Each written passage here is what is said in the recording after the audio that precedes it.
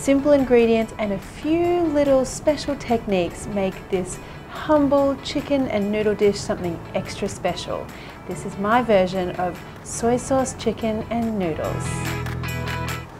The secret to this amazing dish is that we're going to use our braising liquid for the chicken to make like this awesome sauce for the noodles. So we kind of get a two for one bang for your buck with our braising liquid here. So let's start off with that liquid.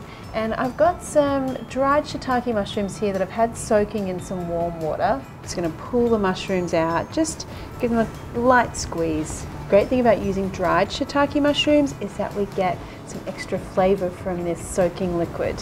So don't waste that. Strain the liquid just because sometimes you can get a bit of sediment, dirt from the uh, mushrooms. Keep that for when we do our chicken later. Now, the mushrooms themselves. One thing that really irks me in restaurants is when they don't take the stem off the dried shiitake mushrooms because the thing is inedible. It's really chewy, it's not tasty, and it only takes two seconds to take it off. And now all the aromatics that we want to use to infuse the liquid and the chicken. So I'm going to start off with some ginger. I want a really decent handful of garlic cloves here. Just want to crush these. And some spring onion as well. I just want the kind of firmer, pale part of the spring onion here. I'm going to slice those, save the green tips for later. Now into a hot saucepan, add some oil, and I don't want my saucepan to be too big here because I want the chicken to fit nice and snug so I don't have to add any extra water to cover the chicken. You'll see what I mean later. In go the aromatics and just give those time to have a little bit of a sizzle in there. Mm, that really smells amazing already. So comforting, that ginger and the garlic, yum. Now add star anise and cinnamon stick. And now for the soy sauce. So we're gonna use two types, both Chinese. One is Chinese light soy sauce and the other one is dark soy sauce. So you might get a bit confused where the light soy sauce doesn't refer to light in salt or light in calories or anything like that. It's just light in color. In fact, the light soy sauce is saltier than this dark soy sauce, which is actually sweeter. And then I want some Chinese cooking wine, also known as Shaoxing wine as well. You can leave that out if you want to keep this alcohol free. And then I've got that mushroom soaking liquid and some sugar. I'm going to add my mushrooms back in here and just wait for this to start bubbling away again.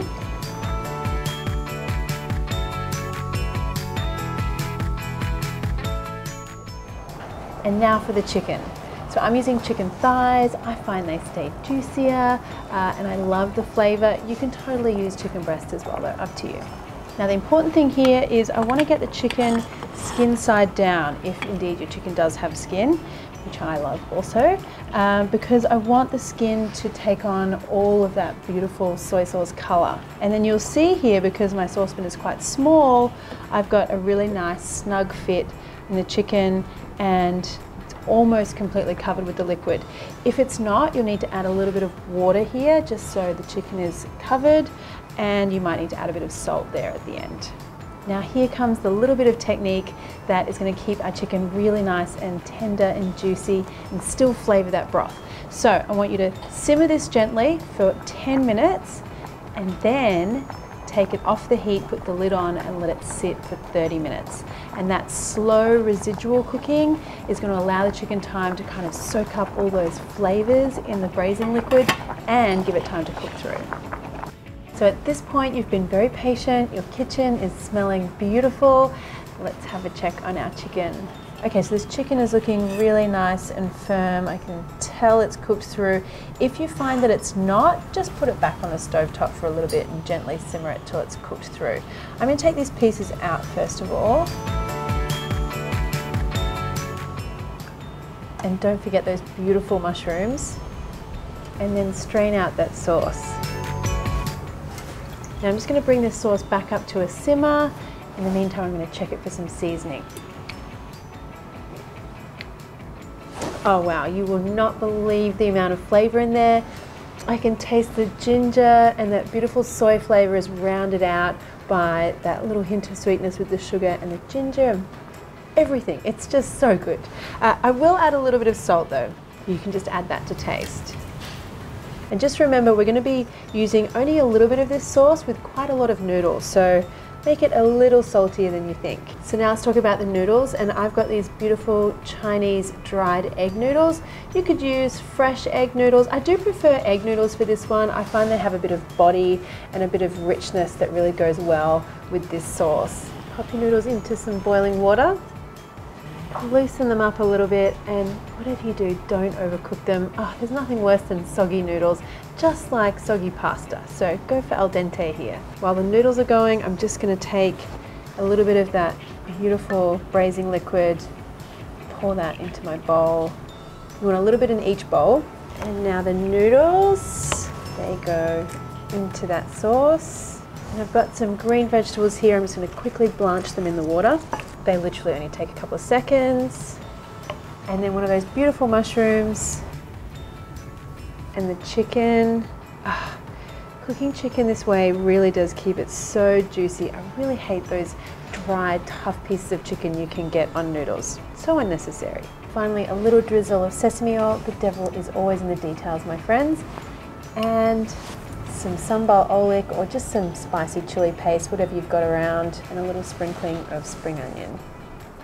And now the real joy here comes with mixing those noodles in that sauce and with the chili paste. So good. Now let's see if I can eat these ladylike without getting anything on my top.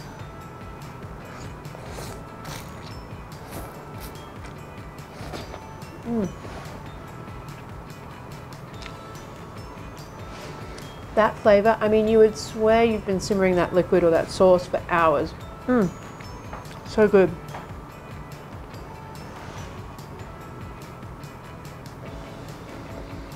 Chicken is so tender mm. and infused with all of those beautiful aromatics. This is such a complete and happy meal for me. Mmm, gets me every time.